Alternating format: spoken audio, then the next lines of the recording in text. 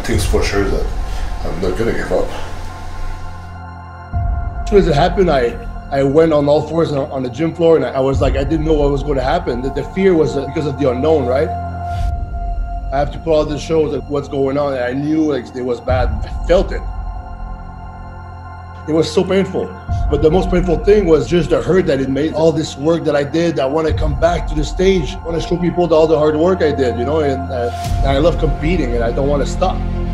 But that lasted just a little bit. Then I said, okay, what's the best thing I can do? How can I make sure that I come back the best that I can be? I just dieted for months on end to train the hardest I could every day, follow the diet to the gram on the scale think I can grow from this. Like I grow from the challenges. Like it's a hard challenge. I'm gonna grow from this. I'm gonna suffer and grow. I think this one is like, yeah, I'm gonna suffer and grow. My learning, I'm learning other things too. And I'll be back. I was motivated to come back even stronger. With this crazy goals, I do everything to the maximum and everything makes sense. I, my purpose is like clear and concrete what's the best I can do? Because that's all you can do.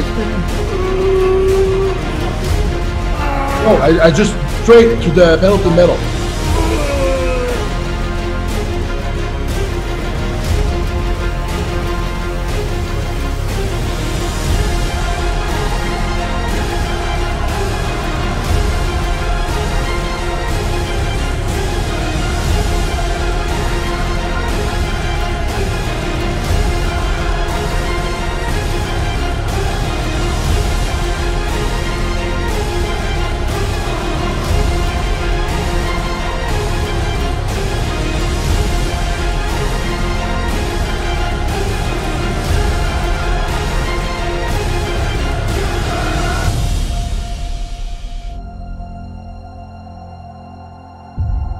And I, I, just went full on with like I just did my best.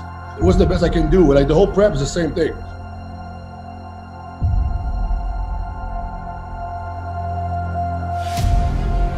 We have no control over anything except how hard you work, aka your efforts, and your attitude.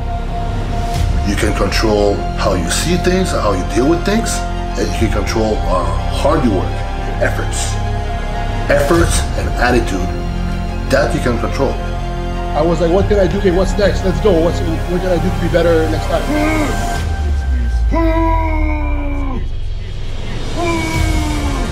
If you stay disciplined, you can just improve year after year after year